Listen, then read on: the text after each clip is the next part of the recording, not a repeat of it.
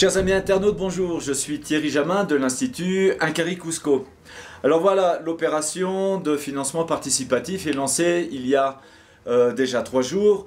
Euh, nous sommes samedi et nous avons réalisé 14%. 14% euh, de ce financement grâce à vous, chers, internautes. Vous avez été, je contrôle, 115 contributeurs. Il nous reste 37 jours et nous comptons sur vous pour euh, réaliser ce financement. Dès que nous l'aurons euh, obtenu, nous enclencherons la phase euh, cruciale des analyses ADN, carbone 14 et en fait c'est tout un programme d'analyse complète sur ces fameux corps et organes momifiés que nous désirons entreprendre.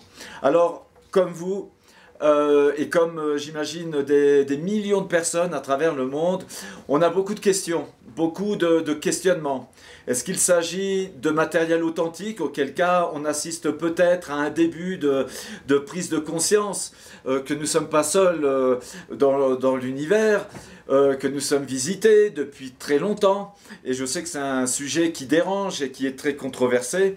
Ou est-ce qu'il s'agit d'un fake, d'une fraude? Et dans ce cas-là, euh, l'Institut Incari prendra toutes ses responsabilités, je peux vous le garantir, contre les fraudeurs. En attendant, euh, vous nous avez euh, envoyé euh, beaucoup, beaucoup, beaucoup de, questions. Il est malheureusement pas, possible de vous répondre personnellement à tout le monde, mais on va essayer de regrouper les questions principales qui, reviennent régulièrement et de vous y répondre. Et n'hésitez surtout pas à nous reposer des questions si vous avez des doutes ou des interrogations. Et euh, chaque fin de semaine, on essaiera d'y répondre euh, ensemble. Alors par contre, par exemple, euh, Michael me, demande, les Wakero disent que leurs appareils ont subi des problèmes et que rien ne fonctionnait, donc comment ont-ils pris des clichés? Eh bien, cher Michael, il faut que vous sachiez que ce que m'ont expliqué les les, les c'est qu'en effet, dans le site, il y a euh, comme un champ euh, électromagnétique qui euh, paralyse apparemment tous les matériels électriques et électroniques. Les caméras vidéo, les appareils photo, mais également leurs détecteurs de métaux, les montres, les radios. Quoi d'autre Les boussoles ne fonctionnent pas normalement, etc. Et euh, vous avez dû remarquer que les, uniques photos que nous avons pu euh, diffuser du site sont euh, la, salle des sarcophages. On a montré un sarcophage avec quelques parois. Et en fait, ces photos de très euh, médiocre qualité, hein, il faut en, convenir, ont été réalisés avec un, appareil euh, euh, classique, un appareil ancien, on va dire, puisqu'ils ont utilisé des bobines comme au bon vieux temps. Ils n'ont pas utilisé d'appareil numérique qui ne, ne, fonctionne pas. Ils ont, ils ont niqué, comme ils m'ont dit, 4 ou 5 téléphone portable et des caméras. Donc ils n'ont utilisé en fait que euh, ce type de, pellicule, de film euh, classique et on peut penser qu'ils n'avaient pas un appareil photo super super euh, élaboré. Ce qui explique pourquoi les clichés sont de très très mauvaise qualité. Voilà.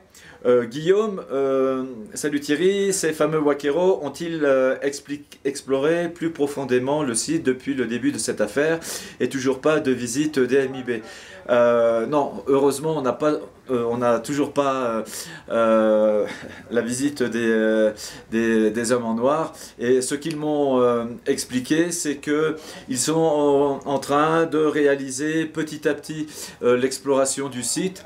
Euh, ils ont rencontré euh, trois portes euh, fermées à côté du second sarcophage et ils ont aperçu sur, le, sur le plafond une espèce de pierre qui, qui dépasse et ils ont peur qu'il s'agisse d'un système de sécurité ou d'un piège, etc.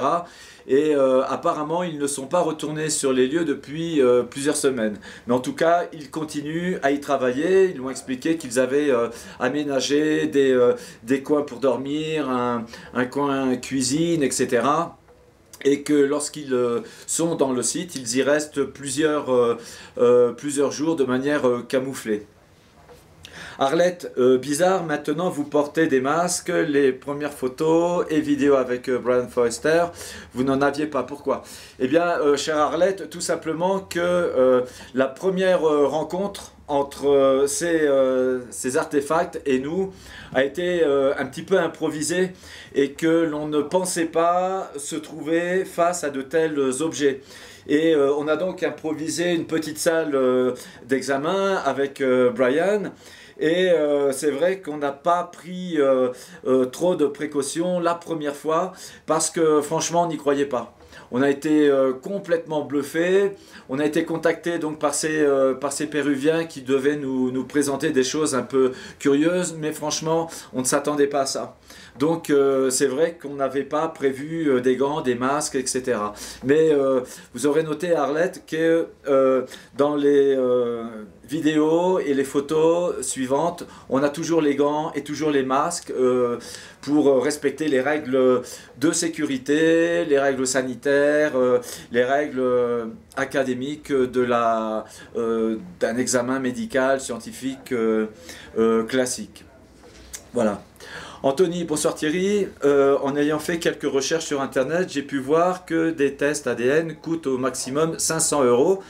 Donc, comment se fait-il que les vôtres coûtent 7000 euros l'un?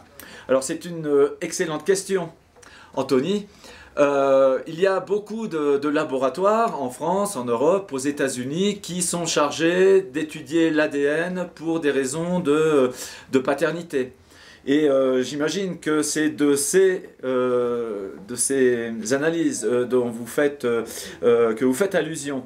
En ce qui nous concerne, il s'agit d'analyses un peu plus élaborées. Il faut d'abord savoir s'il s'agit bien de tissus biologiques.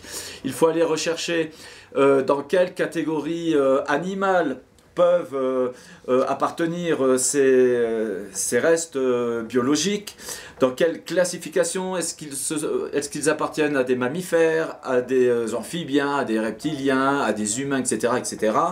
Et donc, les, les laborantins qui vont se charger de ces analyses vont utiliser plusieurs techniques complètes pour pouvoir déterminer la provenance de ces, de ces tissus. Donc ce n'est pas simplement une recherche de filiation euh, euh, paternelle qui coûte effectivement 5500 500 euros, mais bien des, euh, des euh, procédures un peu plus complexes avec différentes technologies et 7000 euros, c'est le prix moyen que l'on nous a euh, proposé dans différents laboratoires. Nous avons trois laboratoires de référence à travers le monde et puis il y a quelques laboratoires qui nous ont contactés pour nous proposer des analyses gratuites, mais malheureusement aucun d'entre eux nous propose toute, toute la, série d'analyses complètes qui nous permettrait d'avoir euh, des réponses euh, euh, certaines. Voilà. Donc j'espère que vous avez bien compris la différence entre le prix que vous pouvez trouver dans des labos domestiques, on va dire, et des laboratoires qui doivent faire des recherches plus, plus approfondies sur ce type de matériel très controversé. Alors, Pascal, concernant cette pièce, je crois apercevoir des cheveux ou des poils sous les os. Vous en pensez quoi? Alors, je vois pas de quel. Est-ce que vous parlez de la petite tête qui euh, momifiée où il y a des poils qui semblent euh, dépasser de cette euh, couche de, de, poudre? Eh bien, oui, il s'agit de sourcils. C'est ce que m'a indiqué le, le Wakero en chef, on va dire, qu'on a pu rencontrer euh, il y a quelques jours euh, à La Paz en Bolivie. Et on a parlé des différents objets que nous avons déjà euh, montrés sur Internet. Et s'agissant de cette tête momifiée, effectivement, il, ne s'agit pas de point de suture ou quelque chose de, ce genre, mais il s'agit bien de sourcils. Le seul moyen que vous auriez, alors c'est Kevin qui euh, me pose cette question, le seul moyen que vous auriez pour l'instant de faire avancer le dossier en attendant les résultats d'analyse serait de proposer des documents audio-vidéo du site. Est-il inimaginable de convaincre les Wakero d'en produire? Alors Kevin, Évidemment, moi, c'est le, but euh, principal de nos recherches actuelles. Et euh, ce sont des recherches que l'on a entreprises il y a déjà plusieurs mois. S'il était possible d'aller sur le site avec les Wakero, on le ferait. Alors, on a une bonne, une bonne idée de la localisation. Euh, de ce site en faisant des triangulations et en, en, entrecoupant, si vous voulez, les, données que euh, Paul et euh, ces chercheurs clandestins nous, nous ont données. Je pense que 15 jours, 3 semaines dans la zone nous permettraient d'accéder à cette entrée. Pour le moment, il n'en est pas question puisque nous sommes en contact avec les Wakero, on a donné notre parole et on va la respecter. En revanche, pour, donner, pour arriver au site, faire des images, eh bien, euh, pour, euh, pour vous expliquer la situation, mon cher Kevin, ce sont vraiment des wakeros, qui ne les intéresse, c'est vraiment que l'argent. Il y a un chercheur euh, péruvien qui vit à l'étranger, qui les a contactés, qui a réussi en tout cas à les contacter il y a, il y a quelques mois et qui voulait arriver au site avec les Wakeros. Les Wakeros leur ont euh, proposer de l'emmener, bander, montrer le site et euh, repartir, toujours euh, par ce système. et ils leur ont demandé 200 000 dollars pour, pour aller sur le site. Et encore, il n'était pas question de prendre des photos. Donc, malheureusement, c'est le côté noir de cette affaire et le côté insécure. Et je reconnais que ce n'est pas... ce n'est pas tout blanc et il y a ce côté wakero, ce côté trafic qui euh, personnellement me, gêne énormément. C'est évidemment contre toute éthique professionnelle, mais euh, à un moment donné, si on veut trouver le site, si on veut essayer de récupérer, de sauver du matériel biologique, il faut essayer de parler euh, avec ces gens. Ludovic, en contact avec des professionnels de, radiologie, j'aimerais savoir euh, s'il te serait possible de placer des scans haute résolution des radios déjà réalisées sur un serveur FTP ou autre afin que nous puissions les analyser et les étudier nous aussi. Euh, cher Ludovic, on va essayer de le faire dans euh, dans les semaines, les jours ou les semaines qui viennent. Euh, on a réalisé il y a quelques jours de nouvelles radios sur de nouvelles entités biologiques qu'on a réussi à, récupérer et que l'on aura euh, euh, l'occasion de vous présenter dans, quelques jours.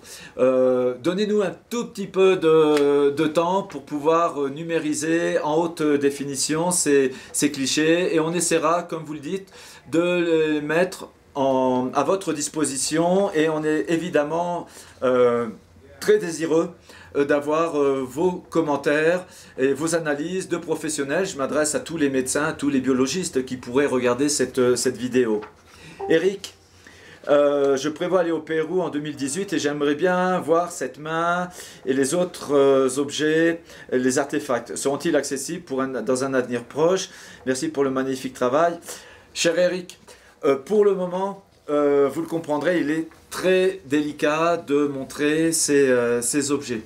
en ce qui nous concerne, on va essayer de récupérer un maximum d'objets biologiques. On va les étudier cette année. J'espère que grâce à vous, on pourra avoir les analyses. Et le but, c'est de tous les, de, les remettre en fait euh, entre les mains des autorités euh, péruviennes. On pense notamment à une petite localité proche euh, de ce site qui pourrait faire un, musée de, de site dans, un proche avenir, j'espère. Et donc, euh, je pense que tout le monde pourra euh, venir les examiner dans, euh, de bonnes conditions. Mais bon, on ne sait pas de quoi l'avenir sera fait. S'il s'agit d'un fake, eh bien, je crois que ces objets ne, vaudront pas un clou. Et voilà. Pour le moment, la, balance penche plutôt du côté euh, d'un matériel authentique, mais il est quand même urgent de, s'en assurer par ces analyses euh, ADN et carbone 14.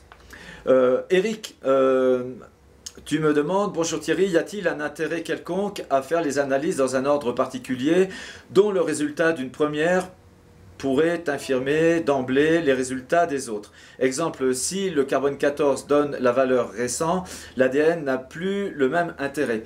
Tout à fait, euh, Eric. Euh, alors, on a eu euh, des exemples à travers euh, euh, les, années passées d'erreurs de carbone 14. On a par exemple analysé des, huîtres fraîchement pêchées qui donnaient une, date aux environs de l'ère chrétienne. Et je ne sais pas si vous, vous souvenez des datations réalisées dans les années 80 concernant le, le suaire de Turin, qui semble être euh, authentique, c'est-à-dire euh, daté du début de l'ère chrétienne, et pour autant, en 1982, plusieurs laboratoires avaient euh, daté le, le suaire de 1260 et du début du 14e siècle. Donc, avec le radiocarbone, on a quand même une marge d'erreur qui est beaucoup plus importante que si nous faisons des analyses ADN. Avec l'analyse ADN, on est sûr à peu près d'avoir une bonne euh, idée sur la nature euh, euh, de ce matériel. Donc on préfère commencer prioritairement sur les ADN et les confirmer sur le carbone 14. Ou bien d'utiliser le carbone 14 sur des, objets qu'on ne pourrait pas ou que l'on ne pourrait pas ou mal utiliser pour les analyses ADN. Voilà, donc priorité pour nous euh, aux analyses ADN. Et enfin, Fernand, euh, tu euh, me fais plusieurs commentaires. Il s'agit d'un fait nouveau. Pouvez-vous donc dire Il s'agit d'autorité locale de la zone découverte. Alors, oui, c'est ce que j'ai déclaré et écrit il y a quelques jours concernant l'implication des autorités locales. alors, malheureusement, je ne pourrai pas euh, rentrer dans, euh, dans les détails de mes relations avec euh, les autorités péruviennes. Mais sachez, chers amis internautes, que les autorités péruviennes sont au courant de cette situation et qu'elles la suivent de très près. Voilà. Et je pense que dans les semaines ou dans les mois à venir, nous pourrons vous donner le fin mot de l'histoire. Voilà, ce sont les, euh, dix 10 questions que nous avons reçues depuis hier. N'hésitez pas à partir de, lundi de nous poser de nouvelles questions et avec le plus grand plaisir, on y répondra. Voilà. Euh, nous sommes encore à 14% du crowdfunding. On compte euh, vraiment sur vous pour réaliser cette opération et pour lancer les analyses le plus tôt possible. On aurait euh, envie de les, de les entreprendre dès le début du mois de mars, c'est-à-dire à la fin de cette opération de financement participatif et auquel cas nous pourrions vous officialiser tous les résultats dans le courant du mois d'avril. Voilà, c'est en tout cas euh, ce que nous espérons. On vous remercie infiniment euh, de participer à cette opération. On remercie tous les internautes qui nous ont déjà soutenus et euh, on remercie bah, tous les autres de leur soutien moral. Et on espère pouvoir réaliser donc ces, ces analyses le plus tôt possible. A très bientôt et passez une bonne semaine. Ciao